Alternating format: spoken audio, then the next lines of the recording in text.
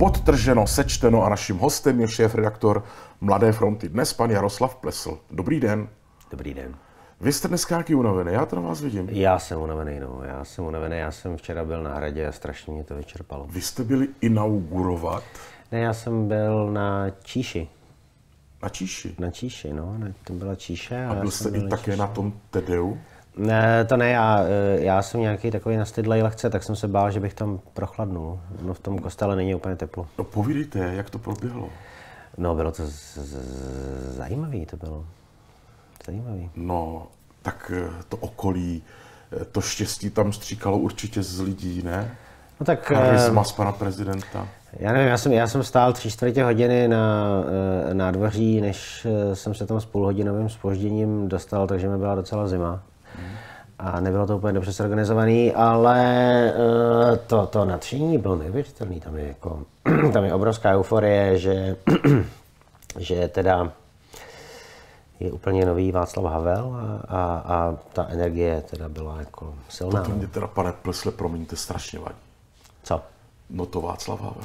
No to, ale to takhle je, to je to, je jedno, to, tak to, je to, je to, je, je to reinkarnace Václava Havla a všichni to tak, eh, z těch lidí, co tam byli, tak všichni to tak vnímají. To fakt jako tak je, no. Vždyť pan Havel byl opravdu osobnost. No, ale tohle s tím nemá jako nic společného. Tam, tam prostě je uh, recidiva roku 1989 a uh, opravdu, to je úplně jedno, že to je prostě lampasák, že to je jako voják eh, z komunistické armády. Prostě tam je opravdu pocit, že tohle je převtělení Václava Havla. A bylo to tam strašně cítit, fakt. Co kdybychom se domluvili, že v tomto pořadu nebudeme už nikdy říkat, že komunistický funkcionář je něco jako Václav Havel? 3,3 mil- milionů lidí si to myslí. A my jsme Jako, dva? no já vím, ale my to musíme respektovat, prostě to opravdu to jsou, to jsou volby, demokratické volby a 3,3 milionů lidí si myslí, že ten voják je reinkarnací Václava Havla a takhle to prostě je. Nemůže to být jenom tak, že 3,3 milionů lidí nevěděli z které do které, nikoho jiného neměli. Věděli naprosto přesně. Naprosto přesně věděli, komu dávají hlas. A zvolili si ho. Prostě to je demokracie, zvolili si tedy reinkarnaci Václava Havla, mají ji. Dobře, tak pro mě a za sebe říkám, že současný prezident eh, Václavu Havlovi nesahá ani po palce u nohou. A No já to já jako rozumím tomu, ale prostě já zase jsem jako demokrat, fakt. Já, já absolutně jako věřím v, v demokracii, v liberální demokracii. To znamená, že každý má šanci kandidovat, každý měl šanci kandidovat. Vybrali si tady pána reinkarnaci Václava Havla a, a, je to tady. kdybyste řekl, že to je reinkarnace Bilaka, tak bych to s úsměvem přijal. No a to vám, to vám ani neodkejvou. Oni, oni volili Václava Havla, ne, ne, ne, Vasila Belaka. No. Včera tady někdo říkal v rozhovoru, že hodnotil prezidenty a řekl zajímavou myšlenku, že vlastně eh, Václav Havel jako prezident bylo jenom stělesnění emocí tehdejší a euforie. No, To na tom něco je.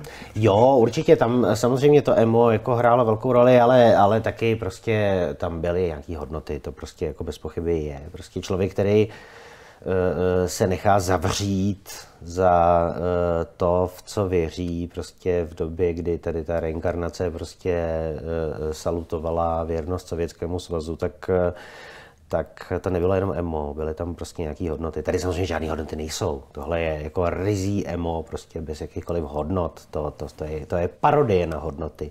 Ale u Václava Havla ty hodnoty prostě byly. Tak jdeme. Balkónová show se standardou od Stohoven. Ztratila se tak jako hodnoty. Teď ji vracím, ohlásil Pavel. No, je to ten, ten balkon Václava Havla, jak si říká trošku. Tomu začínám propadat, té vaší No. myšlence. No ne, to tak eh, je, no, ale z toho ven, no. Tak eh, z toho ven prostě. To, to je takový jako zájmový umělecký kroužek Československé lidové armády. To ty frajeři z Podebal, já nevím, jestli se v tom trošku vyznáte tady v těchto těch skupinách. Ne, ne, ne, tak pojďme si udělat takovou túru. Uh, Podebal, něco jako z toho ven, před lety, měli takovou akci, jmenovala se, a teď tam strašně záleží na tom, jak to vyslovíte, stejně jako u Stohoven, uh, jmenovala se Malík Urvy. Jo? Malík taková Urvy. výstava Malík Urvy. A e, myslím si, že tady vyloženě se nabízí jako možnost udělat další výstavu Malík Urvy. A myslím si, že kdyby došlo teda k souboji z toho ven e, podebal, tak, e, tak si myslím, že tady z toho ven z toho výjdou jako opravdu jako idioti, no.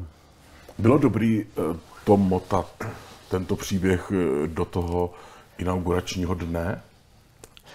Mm, No jasně. Jo, bylo. No to já myslím, že to zapadá všechno přesně jako do toho obrázku. No ne, tak eh, já bych to býval chtěl takové důstojnější, že bez toho... Ne, to, to bylo naprosto celý správně. De- Dejdar mává z okna, uh, Svěrák mává z okna a z toho ven vrací ukradenou standardu. Myslím si, že tady do té inaugurace to přesně sedí. Když někdo má vás okna, je celkem jedno. Navíc jsou to všechno profesionální podporovatele. No, jak vidí publikum, tak mávají. Že? Tak a vezměte si, koho všechno historicky podporoval. No tak Dejdar, pod, Dejdar třeba podporoval i předchozího prezidenta, to víme. Že? Ne, Topolánka, kde koho, ty, ale to, to, to není nic špatného, prostě. Proč No ne? ne, ale jako je to fakt jak, tak, jak, tak, jak to mělo být. Já si myslím, že to je jako super. Kdo uh, toto, tomuto velí, tomu ansámblu? Je to, je to pan generál komunista? E, teď máte na mysli celou tu akci, co se odehrává? Ten mozek toho. Tam, eh, Myslíte, že on sedí, rozvědčík a říká, tak potom uděláme tiskovku tam není centrální mozek. CML? To je, to je, to je jako to, to, to, taková neuronová síť. To, není, to nemá mozek. No ne, tak Tak eh, generál zveřejnil informace o tom, že jeho IQ je 107, no. Tak eh, to nemá mozek, že jo? 107? Jako to spektrum IQ ve společnosti, eh, řekněme si, že 107 není úplně špička ledovce, že jo? 107 je fakt málo. Hejma má 130. Eh, Hejma má 130, no to mě nepřekvapuje, no. Ale tady eh, náš současný prezident má IQ 107. Jako 107. To, jako z toho vycházejme. To znamená, že to nemá mozek, že? jo? No a co to, 107 je fakt málo? No 107 je jako těžký průměr. Těžký průměr, no. To je opravdu, nevím, já jako nechci se nikoho dotknout, ale je to opravdu jako, je to fakt málo. Je to málo prostě. 107 je fakt málo, no, tak to máme 107, to znamená, že to nemá mozek, že? jo. Takže tam, eh, tam je jako je taková síť neuronová různých lidí, kteří jako hledali něco, co by prošlo tady na ten balkón a našli tady 107, tak eh, je tam 107, ale jako jestli hledáte opravdu jako nějakýho hybatele té celé věci, není. Není. No, on přece musí mít svýho nejedlýho, ne? No tak eh, jasně, no, tak to je pan eh, Kolář, ne? To myslím si, že je ten obecně, diplomat. obecně známá věc, že pan Kolář se nedávno ten- nechal, no, se nedávno nechal slyšet, že eh, on měl být prezidentem a že v- v- investoři do kampaně 107, tak že teda říkali, že by radši chtěli jeho, ale, ale on řekl, že ne, že, že nechá 107 vyniknout, tak nechal vyniknout 107. A to si myslím, že je ten, eh, ten, ten jako člověk, který tedy alespoň něco tam je schopný vymyslet. No. No a tak je to, je to už jakási síla, jakási parta, jakýsi mozek, že tam Zárubovi, Vitovští, Kolářovi, to už je taková semknutá partička. No tak to se uvidí, to, to, hele, je tam, je tam 24 hodin, nebo kolik v tuhle chvíli. Ještě ne? No, tak uh, jmenoval ministra. A teď bude mít uh, tam tu valorizaci, no, tak uvidíme, jako, jestli je to nějaký autonomní člověk, nebo jestli je to opravdu jenom 107. No, to jmenování bleskové ministra Hladíka přece jasně předznamenalo situaci, ne? Uh, uvidíme, no, uvidíme. No ne, tak uh, samozřejmě 107, no. Jako myslete na to. Hm? Na všechno se dívejte číslovkou 107. Vlajky, Evropská unie, Aha. Česká, pak tady nějaká žlutá, jestli to bude ukrajinská, myslíte? Vatikán. Vatikán, jo? No jasně, to je No, Vatikán. tak jo. Protože si říkám, že Ne, to je Vatikán. To je Mimochodem- Vatikán. představte si, že na Oscarech zatrhli eh, Zelenskýho, víte to? No, četl jsem to a To je odvaha v dnešní době. To mě to šokovalo. Ty, Věci se mění, jak říkají buddhisti. to jsem teda koukal. Věci se mění a zřejmě se toho změní víc. Vy něco víte? Ne vůbec, ale vycházím z toho, z toho signálu. to, to je takový populární, že vysílání signálu. Oscaři vyslali signál. No, tak jedeme. Tento muž se jmenuje Petr Kratochvil. Držitel amerického pasu. Držitel amerického pasu, je to bývalý partner manžel Lucie Bílé Mhm.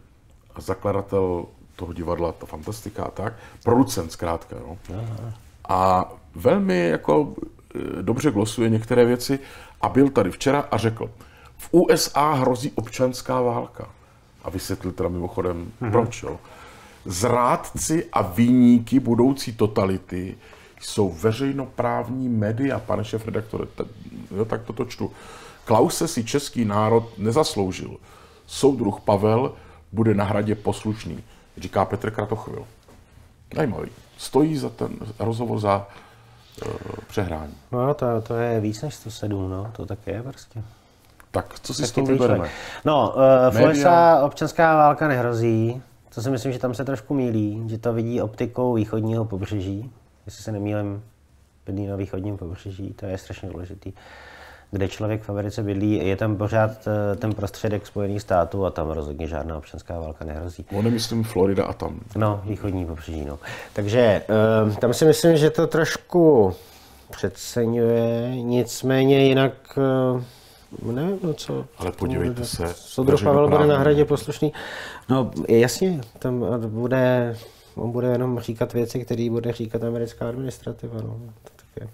No a souhlasíte s tím, že veřejnoprávní média jsou výníky budoucí totality? No, ve- veřejnoprávní média prostě ne, především neplní svoji roli, no, protože teď třeba prostě ohledně těch eh, důchodů, té valorizace, tam si myslím, že jako naprosto jako selhává jak rozhlas, tak česká televize, když teda mluvíme o českých veřejnoprávních médiích. Tam e, slyšíme jenom apologetiku e, postupů vládní koalice ohledně eh, stavu legislativní nouze a prohlasování eh, toho škrtu na úkor důchodců, ale že by se někdo zabýval tím, jak žijou důchodci prostě ve veřejnoprávních médiích. Důchodci, kteří přispívají na chod veřejnoprávních médií prostě svými dvo, dvěma stovkami měsíčně, nebo kolik chudáci z těch, eh, eh, z těch eh, svých penzí, 135 v případě televize. No, plus 45 rozhlas, ne, no tak jsme skoro na dvoustovka. Um, tak, tak vůbec nemají žádný zastání v těch veřejnoprávních médiích. To mě fascinuje prostě tohle. No, Je jich hrozně moc a, a, a všichni na kašlou. zrušili jim tu ČT3, A ještě jim zrušili, ano. aby nebyli moc rozežraní. Ano, ČT, Kmet, nebo Kmetflix, nebo jak to říkal někdo. No tak smutný. A bude poslušný? Bude, ne? No jasně. Jasně. Já si myslím, že nebude říkat nic jiného, že když, když američani řeknou, že je správný uh, bombardovat Moskvu, tak bude říkat, že je správný bombardovat Moskvu. A když američani řeknou, že je správný, aby byla nakreslená nová hranice Ukrajiny, tak bude říkat, že je správný, aby byla nakreslená nová hranice Ukrajiny. Takhle to bude. Novinka v Berlíně. Ženy mohou plavat v bazénech, nahoře bez. A je to tady zase, pane Holče. Pa, promiňte, pane Holče. Pane šéf redaktore, pane Plesle.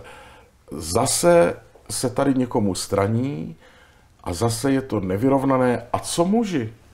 Já chci mít také potvrzení, že můžu plavat nahoře bez. No, je to tak- krok dopředu? Já si myslím, že tam prostě v tom východním Německu, což Berlín je východní Německo, ne, tak eh, tam se, to, ta celá věc té nu, nudistiky je úplně specifická. To fakt, Cože? to si myslím, že my nemůžeme vůbec jako chápat tady tenhle ten uh, uh, jejich, jejich jako vztah k nahotě. Oni Pane jsou fakt divní v tomhle tom. Počkejte, ale vy vůbec neberete v úvahu, že v Berlíně mohou být i lidé jiných kultur, kteři, které, kteří nejenom, že chtějí nahoře bez, ale chtějí všude být zálení. A co na to řeknou? No, já si myslím, že, že prostě se normálně budou, pojedou koupat do Sýrie, ne? No nebudou se cítit dobře ve své nové zemi. No, to asi nebudou. A tak místo tak vykompenzují, ne? Ale jak? Já nevím. Nějaké dávky? Třeba ve vlaku. To si kompenzují jako různé věci.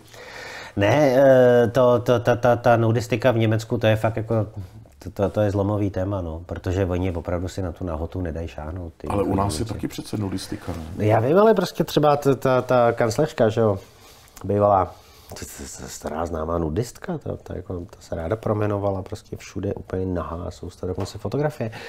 To eh, východní Němci a nahota je kapitola sama pro sebe a tu nezlomí ani, uh, ani, ani, imigranti ze Sýrie. Mm-hmm. Fakt, jako něco jiného to bude v Bavorsku, něco jiného to bude v Takže Berlíně. žádný překvapení tady. Ne, to je nahý východní Berlín a, a, a to, tohle opravdu oni si nenechají vzít. Tak já jsem pro. No, to jsou východní Němci. Fakt. Byl bych opatrný na to východní Němci. Jo. No, To, to je tak zlý od vás. Já vím, že se někdy říká, je to trapný jak východoněmecký porno. No. Vzpomeňte si, že toto se mezi lidem... Neříkejte východní Němci. eh, tak co? Buďte politicky korektní. Severní Němci. No, říkejte... Severní Němci. Říkejte Němci. To, to, to, To není ne- přesný, že? Není to přesný. To řekni, řekněte to Bavorákům. Ale vy jste úplně stejný jako lidi v Berlíně. No. Tak obecně Zkuste to tam říct, jako třeba v Pasově, v nějaký bavorský hospodě. Zkušené. Ježíš, to jsem rád, že vás vidím, vy jste tak milí jako Berlíněni. jste ty pěstí. Eh, nevím, jestli to víte, ale zkušené protistudky říkají, že jaksi Němci jsou nejhorší zákazníci, protože požadují nejvíc specialit všeho druhu. A nám vyprávěla k jisté společnosti jedna dáma, která má velké zkušenosti, že za ní chodil zákazník a pravidelně si pod paží nosil celou ruli potravinářské folie. Igeliťák. Za peníze v Praze. Igeliťák. Pan Igeliťák. Praze. Je tady Igeliťák. No jo, no, tak eh, bylo to tady levnější asi než... Jedeme. A pozor, Český olympijský výbor sestavil komisi. A jak někdo sestavuje komisi, to je vždycky nebezpečný. Chce najít argumenty proti startu ruských sportovců v Paříži a já říkám, že toto je kravina a eh, zajímá mě, co na to říkáte vy. No, souhlasím. Drzost. Souhlasím, já Co souhlasím. mají to je- ruští sportovci společného s válkou? já, já nevím, tak oni, oni prostě tady, pan Kejval řeší prostě nějaký politický tlak a, a, a samozřejmě, že eh, sám nesouhlasí s tím, aby byl eh, zaražený start komukoliv. Tak zažili jsme to, jako zažili jsme to prostě eh, Celý? v LA, Los Angeles prostě, zažili jsme to s Moskvou, prostě to nikdy není dobrý. Prostě. Vzpomeňte si na ten srdcerivný projev paní Fibingerové, No.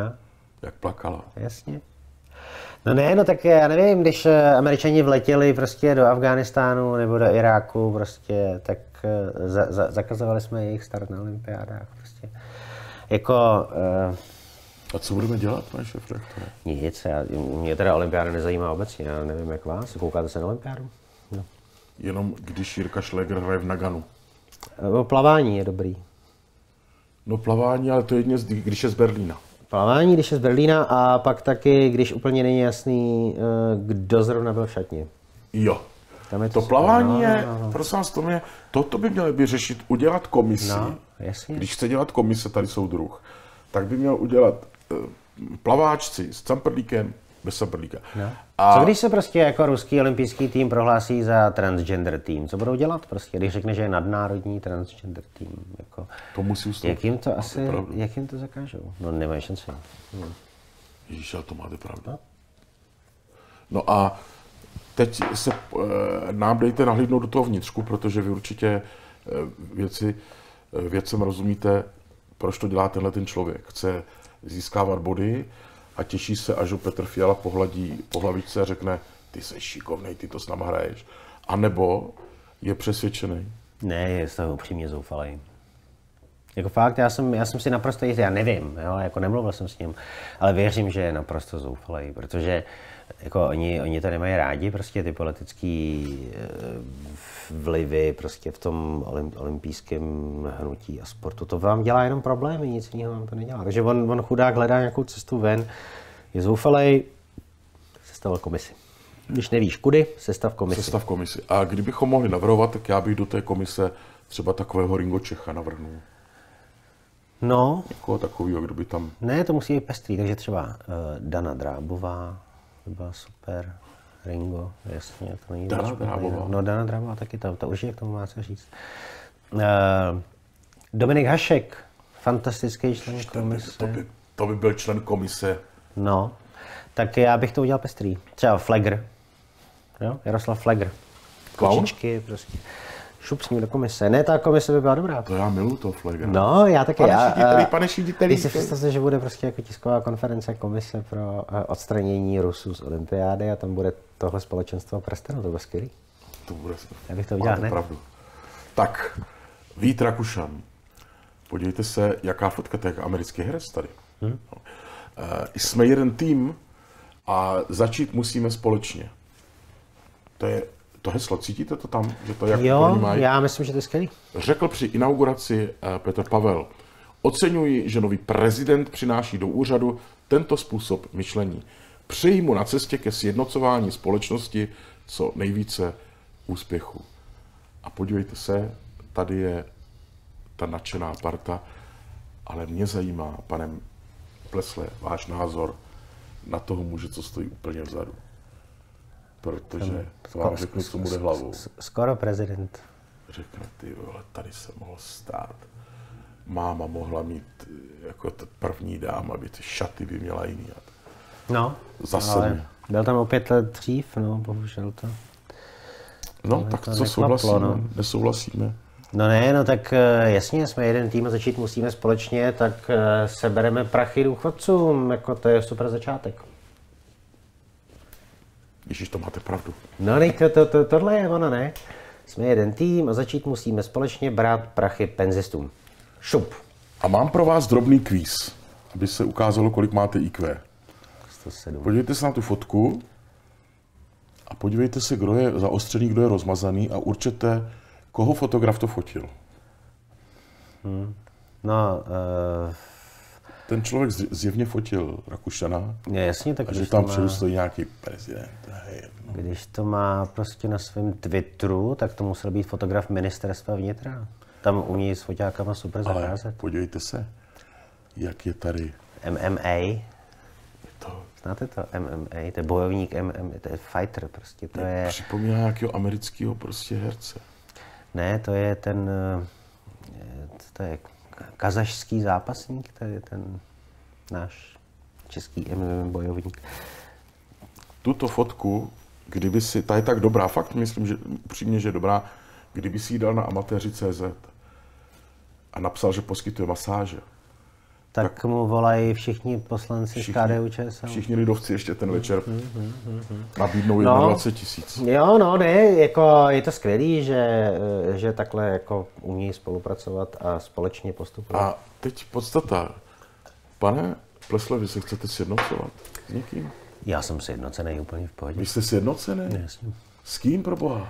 Já jsem si, si, sjednocený tady s, s, s, s týmem. Mě už totiž toto strašně obtěžuje. Proč? Nějaký spojování a sjednocování společnosti. Já nechci být sjednocený s Evou Holubovou a s Medou. Já, já jsem sjednocený prostě v boji proti penzistům úplně v pohodě. Seberte jim všechny prachy. Já myslím, že mají moc těch, eh, těch eh, peněz, že by jim poloviční důchod úplně v pohodě stačil. Nevím, proč jako takhle troškařejí. Proč jim přidají jenom 760 eh, korun, proč jim neseberou 760 korun? Hmm. Teď mají dost, ne? To říkali, mezigenerační solidarita vraťte půlku důchodu. Já myslím, že jednotně by to dokázali. Mimochodem, oni prej ukradli identitu nějakému chudákovi důchodcovi, respektive vytvořili nějakého avatara a měl to být nějaký pan z Vysočiny. Ta paní Jo, de jo. Croix. Paní, paní s francouzským jménem z Vysočiny. No jo, no tak ona prostě, ona chtěla, ale ona je hodná, ona chtěla pomoct.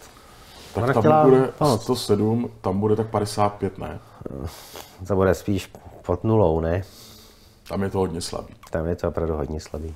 Ne, tam bylo výborný, jak eh, když, když jí někdo z těch eh, ODSáků řekl, tak takhle ne, Evo, tak eh, ona říkala, a proč ty na všem hledáš jenom ty špatné věci, když já to myslím dobře, to. Neštěstí. Sanep. Svoboda projevu a nové formy cenzury. Otázka zněla. Průzkum, jo? Bojí se, bojíte se někdy otevřeně vyjádřit své názory? A 54%, skoro 55 lidí řeklo ano. Kde jsme? No, jsme sjednocený, ne? Vy jste sjednocený, já nejsem sjednocený. No já jsem sjednocený. No. Já jsem sjednocený a 50, jenom, jenom 55%. ostuda. jo.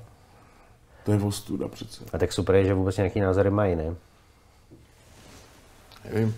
Ne, ne, to je další krok. Tak tady mělo být nula. Až, až bude, až bude redaktor. už dělat za dva roky takovýhle průzkum, tak tam bude otázka, máte ještě nějaké názory a 55% lidí řekne, že už ne. Už, už ne. Radši ne. No ale mě to bohužel něco připomíná, víte. Jo? Mně ne, já jsem sjednocený. Já, já, já, mě vůbec nenapadá, co by mi to mohlo připomínat. Tak teď bude 15. března. 15. března bude sjedno, výročí sjednocení, že? Proto já se to bojím. A stačí, že vyleze jeden blázen. No, A on už je na cestě, ten blázen. to se může stát, no. Může se to stát samozřejmě snadno. Ta demokracie je křehká věc, proto je třeba být sjednocený. Proto je třeba nemít názory. Tak já nechci být sjednocený. No, Já chci být sjednocený s lidma, kterým věřím. To jste vy a paní produkční a možná rodiče, tím to končí. tak hodně štěstí k. Těším se na příště, pane šef-redaktore, bylo to fajn s vámi. Díky za pozvání. A lidi, lidi vás mají rádi. Opravdu, jo. To, Chodí strašně moc mailů, kdy bude zase pan Plesl. jo, tak to A je chtějí, skvělý. abyste streamoval. Jo, no jo, ale když já jsem sjednocený a nemám žádný názory, tak to... Je- Tady je velká chyba teď. To já musím říct ostatním dezolátům, že vy jste se nečekaně sjednotil. Ano, já jsem sjednocený. A my vás musíme teď nějak napravit. No tak třeba se zase rozpojím. Jestli pak víte, kde je Pečkův palác? No, nedaleko. Nedaleko. Nemohl byste se zastavit v pondělí? Já nevím, jestli tam ještě ten odtokový kanálek se- pořád funguje. Tam se léčí. Ne, ne, Mějte to je- se, tohle těším je hrozný, se samozřejmě. na příště. Ano, humor, hloupý humor, abychom to... Ano, je to samozřejmě jenom v, v, v, v rovině vtipu, ale, ale je, to, je to alarmující, no, bohužel. Bohužel. Tak to je pro dnešek všechno a příště zase nashledanou. Děkuji za pozvání, mějte se hezky. Šéf-redaktor Mladé fronty dnes pan Jaroslav Plesl a podtrženo sečteno.